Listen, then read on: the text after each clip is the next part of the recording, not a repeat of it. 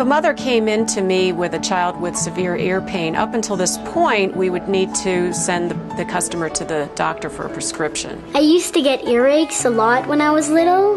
My dad took me to the hospital and we got medicine for my ear. It, it just really hurts. I don't know until it's too late that she has an ear infection.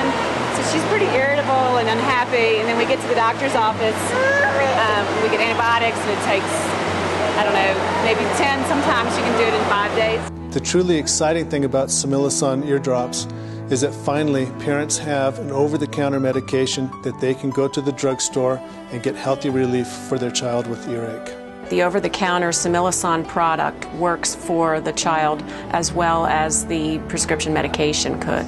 Similasan eardrops can work very fast, Uh, whereas antibiotics will take several days to start working. The Similasan eardrops are a first line of defense that we can recommend to a customer, and if they continue to have problems, then we send them to the doctor. I would definitely buy it over the counter.